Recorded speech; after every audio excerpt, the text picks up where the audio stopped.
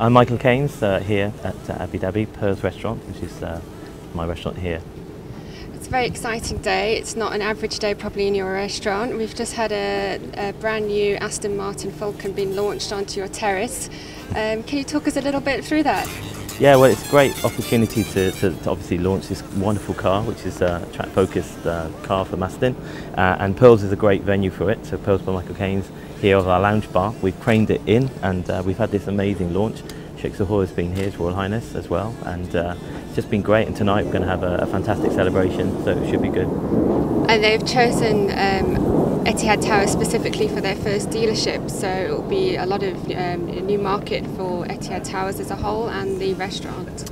Yeah, it's big. Etihad Towers obviously is an amazing venue. It's an iconic uh, feature within the landscape of Abu Dhabi, and having a restaurant here is really important. And I think you know it just shows what quality is coming to this uh, part of the Corniche. Uh, and for me, having a restaurant here is very important. I chose it over Abu Dhabi as a, I, I, sorry, I chose it over Dubai and uh, Abu Dhabi, and uh, and for me.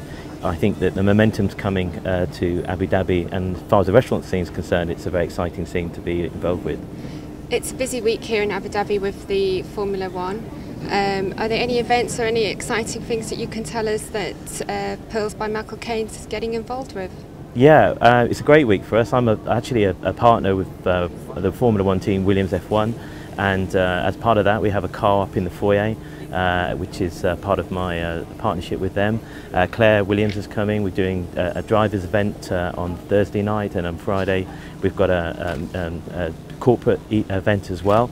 So it's a pretty full-on uh, week for me. I'm at trackside as well, so I do all the catering or help with all the VIP catering for all the partners and VIPs with Williams as well. So and have been. This is my fifth season, so uh, I'm the only two Michelin star chef to be involved with F1. So it's really exciting. And uh, using Pearls by Michael Caines here in uh, Etihad Towers as a backdrop for that event is great because it brings Formula One into the Corniche here, uh, whereas in Yas, Yas Marina it tends to be a, little bit away from what's going on here in downtown Abu Dhabi. So for having that for the hotel and for the restaurant is a great uh, scoop for us, and uh, we're looking forward to inviting uh, some of the VIPs to a couple of events, which is well, well you know, obviously uh, going to be exciting. Any VIPs you can tell us about? Well, that name and that no. list keeps changing all the time. So uh, Stefan assures me that it's going to be we're well, well attended, but um, we have a charity event tomorrow tomorrow night as well, uh, which is great. So uh, with uh, Sutton Images as well, so that's going to be good. So lots going on really. It's such a busy week,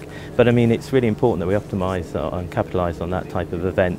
And it's very difficult for lots of hotels to bring Formula One into uh, their scene. So having that uh, connection with uh, Williams F1 has been great for us and uh, with uh, what we're doing here at uh, Etihad Towers, uh, I think it's going to be a fantastic week. Well, I think everyone's doing an excellent job. We wish you all the best. It's fast foods and fast, fast cars and fine food. So, it congratulations is. and thank you for talking to Breaking Travel News. Thank you. It's great.